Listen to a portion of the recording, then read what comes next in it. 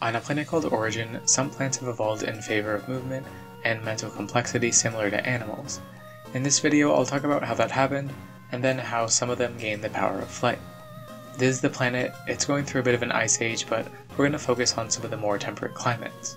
The Occident is the west, the Orient is the east, and the Glacian is the north. At some point I'm going to have to redraw the map to include that, but I'm too lazy at the moment. Plants are a group of eukaryotic organisms that are mostly classified by their ability to photosynthesize thanks to their derived mitochondria called chloroplasts. Origin classifies life by 12 magical elements, one of which is plant, but I won't really talk about magic in this video. If you're interested in that, I'm working on a big video that may or may not have come out by now, which goes way in depth about it. As for the story of animal-like plants, it all started 200 million years ago, with a relationship between two plants.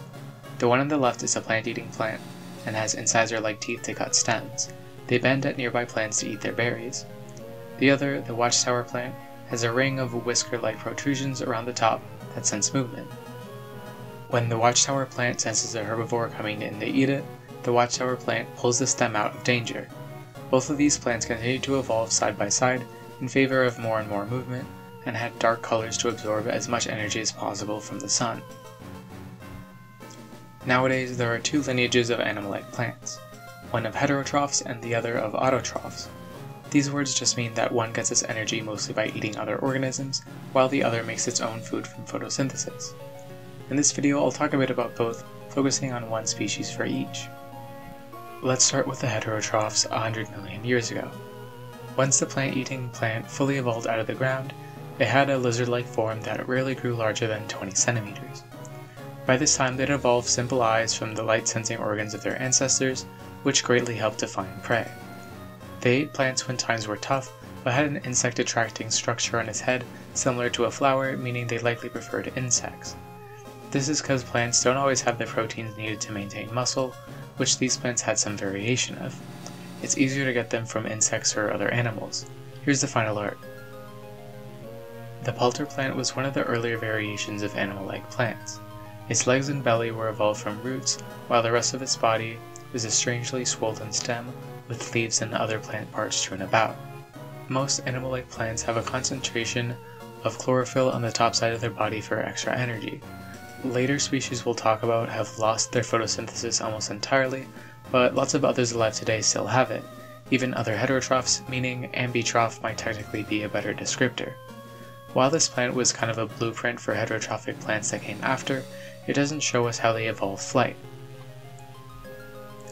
While many of these plants evolved to be big and lumbering to save energy, one lineage actually evolved a quick metabolism to fill an empty niche. While they needed to eat almost constantly, Food was plentiful and it gave them an advantage over other small animals to escape from predators. This was 50 million years ago, and these animals were the only ones in the area that could keep certain insect populations in check, which they spend most of their time doing by sucking them up with its trunk. Most plants don't have a voice box, but these evolved them for simpler communication by squeaking.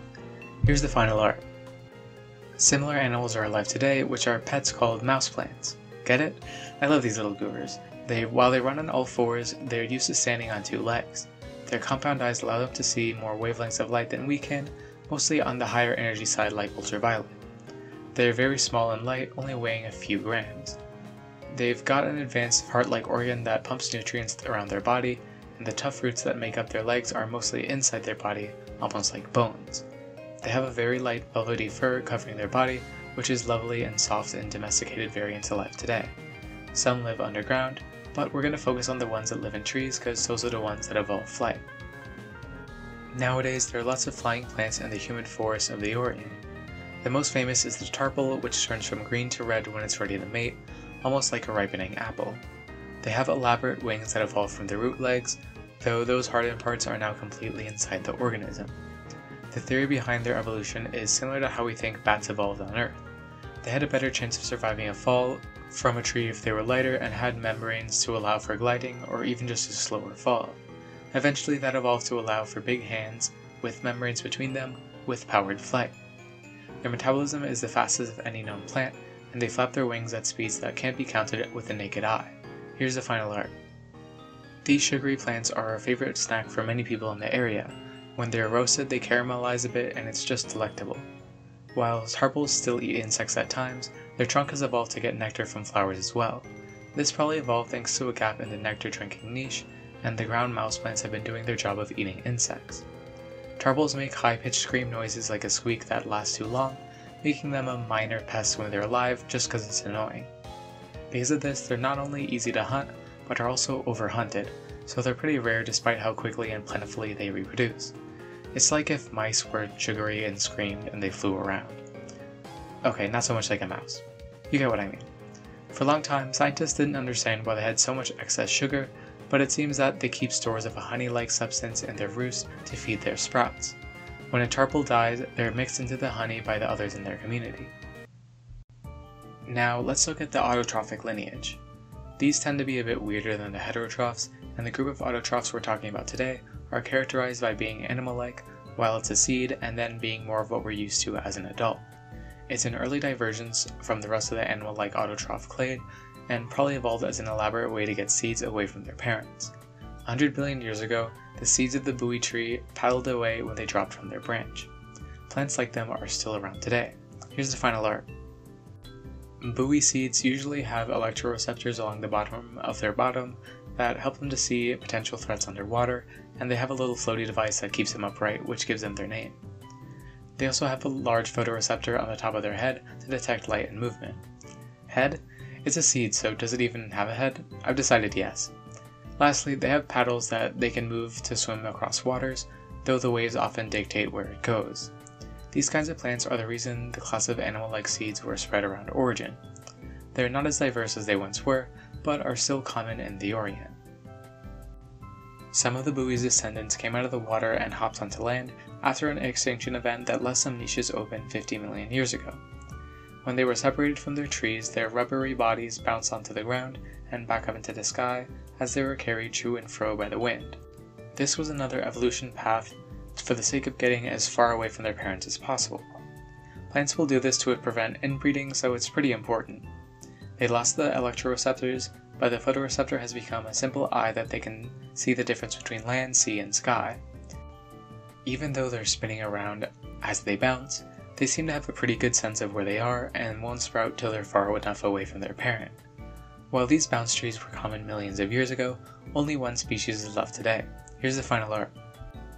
Bounce seeds are very simple looking seeds that just look like a ball with a black dot on them somewhere. They feel like a rubber ball, though the black dot is sturdy and has less of a give to it. The dark green color allows them to photosynthesize efficiently, the energy of which they use to propel themselves into the air with their trapdoor foot. It's like a spring that lets them jump, which they try to use when it's as windy as possible in the direction they want to go. Lots of animals like to play with these seeds, which is probably uncomfy but ultimately good for the seed since it usually ends up in a different place and that's all the seed really wants. While the bounce seeds are coelites, they are not the most derived of the flying seeds. They evolved in the same area as the tarple, the humid oriental forest. A lineage of bounce seeds started to open their foot in the air as it could sometimes allow them to glide just a tiny bit further. Slowly, this foot evolves into a full wing that could be used for gliding. Eventually, they lost the ability to close it back into their body in exchange for the ability to flap their wings.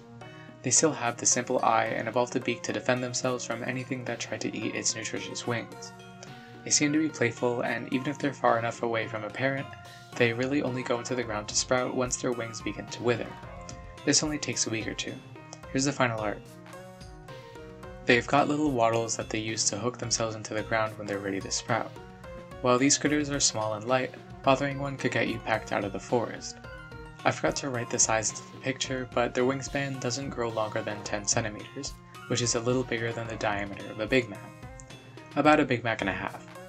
They're not going to do any critical damage, but the sharp beaks are no joke. They're professionally referred to as pecking samaras, but in some areas they're fairy leaves or kap-kaps. There's three living species under two genuses.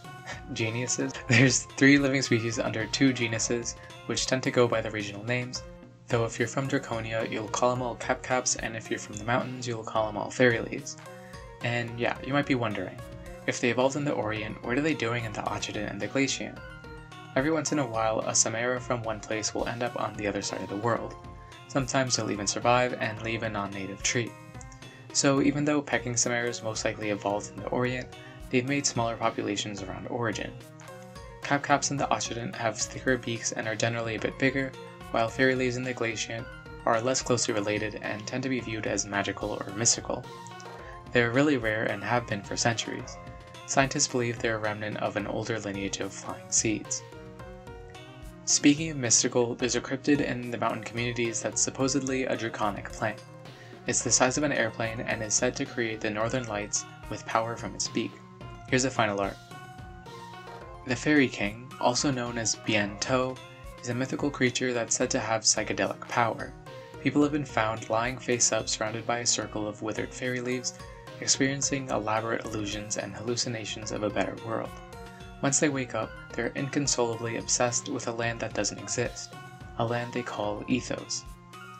Folks in the area says it's the work of the Fairy King, but it's probably shrooms. That's about it for this video. Check out my Patreon, which you can subscribe to for just a dollar a month to support me and get your name at the end of my videos. Thanks Captain Cobot. I'm working on a huge Spec Evo video about the evolution of magic that kinda just turned into a general video, stuffed with lore about Origin in general. It's gonna be really good, I hope you stick around to see it. If that's not my next Spec video, there'll be a regular scheduled one about giant arthropods. Yeah, that was gonna be awesome too. Hope to see y'all there, but either way, thanks for watching.